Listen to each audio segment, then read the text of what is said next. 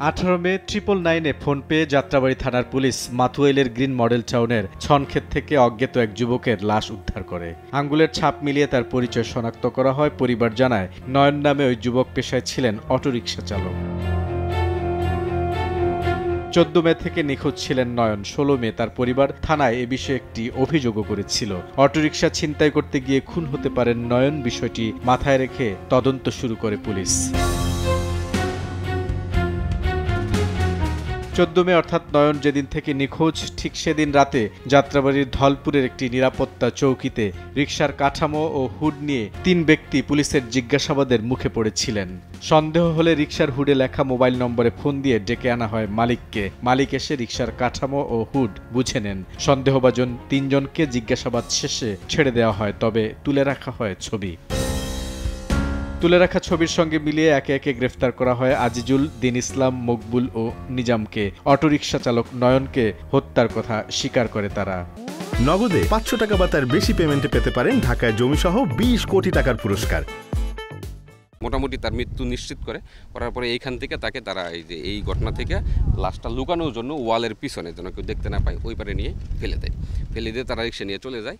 এখান থেকে রিক্সাটা নিয়ে তারা যায় হচ্ছে আপনার ওই গোলাপবাগ এলাকায় আজিজুলের গ্যারেজে।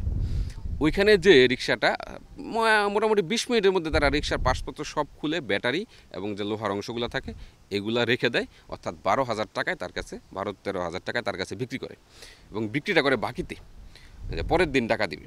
আজিজুল আবার এর সাথে যুক্ত, আজিজুল এই বিষয়টা জানে, যেহেতু তার গ্যারেজ ওইটা, তার ওয়ার্কশপ সে ওই শাটার লাগিয়ে ভিতরে রিক্সাটা খুলতে দেয়। খুলতে দেওয়ার পরে, খোলার পরে যখন ওই হুডি রিক্সার কাঠের অংশ এবং টিনের অংশ নিয়ে তারা বের হচ্ছিল, যেটা হয়তো তারা ফেলে দিবে, কারণ এটা তো কাজে লাগে না।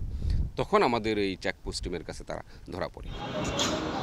পুলিশ বলছে ঘটনার রাতে আইপিএল এর জুয়ায় হেরে গ্রেফতারকৃতরা প্রথমে নেশা করে পরে তারা রিক্সা ছিনতাইয়ের পরিকল্পনা করে। আশি টাকায় ভাড়া করা হয় রিক্সা গ্রিন মডেল টাউনের ভেতরে ঢুকে নয়নের গলায় পেছন থেকে গামছা পেঁচিয়ে ধরে তাকে নিচে ফেলে দেয়। পরে হাত পা বেঁধে শ্বাসরোধে হত্যা করা হয়। এবং বেসিক্যালি জুয়া এবং এই মাদকের টাকা জোগাড়ের জন্যই তারা এই রিক্সা চুরিটা করে। কিন্তু মাদকাসক্ত হওয়ার কারণে রিক্সা চুরি করতে গিয়ে তাকে হত্যা করে। সেটা ওয়ান কাইন্ড অফ ফ্যান্টাসি বলতে পারেন আপনি। দুইজনের বিরুদ্ধে রিক্সা চুরির মামলা রয়েছে। তার মানে তারা রিক্সাকেই সবসময় টার্গেট নেয়। তদন্ত করতে গিয়ে আমরা যেভাবে পেয়েছিলাম যে এই খুনের চার দিন আগে, চোদ্দ তারিখে ধলপুরে একটা চেকপোস্ট চলমান ছিল।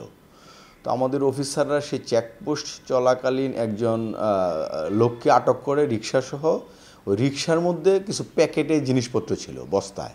তাকে জিজ্ঞেস করে রিক্সার মধ্যে কি? খুলে দেখে রিক্সার বডি রিক্সার হুড রিক্সার প্লাস্টিকের অংশ। আর বেসিক্যালি এই চক্রটাই কিন্তু ইতিপূর্বে তারা ব্যাটারিটা বিক্রি করে দিয়ে আসছে ওই ওয়ার্কশপে তো আমরা সেই ঘটনা তো আগে জানতাম না। নগদে পাঁচশো টাকা বা তার বেশি পেমেন্টে পেতে পারেন ঢাকায় জমিসহ বিশ কোটি টাকার পুরস্কার। চেকপোস্টে আমার সাব ইন্সপেক্টর তার দূরদর্শী তার প্রমাণ দিয়েছে। ওই বডির মধ্যে যে রিক্সার একটা গ্যারেজের নাম বা মোবাইল নাম্বার থাকে, একে ফোন দিয়ে জিজ্ঞেস করেছে আপনার কি রিক্সা হারিয়েছে কি নাকি ও বলল হ্যাঁ আমার রিক্সা হারিয়েছে কিন্তু আপনি কীভাবে পেলেন? বলল, আমরা যে চেকপোস্টে রিক্সার বডি পেয়েছি। ওকে বলা হয়েছিল রিক্সার এগেনস্টে মামলা করতে, কিন্তু সে রাজি হয় নাই যে রিক্সার ড্রাইভার ড্রাইভারকেই সে সন্দেহ করেছিল। রিক্সার ড্রাইভার তাকে তখন পাচ্ছিল না। যে রিক্সার ড্রাইভারকে পাওয়া যাচ্ছে না, আমার ধারণা সেই বিক্রি করেছে রিক্সা তাকে পেলে তারপরে আমরা মামলা করব। হত্যার পরদিন তারা আবারও ঘটনাস্থলে গিয়ে লাশ গুমের চেষ্টা করেছিল। তাদের ভাষ্য মতে বুলবুল রেজা সময় সংবাদ ঢাকা।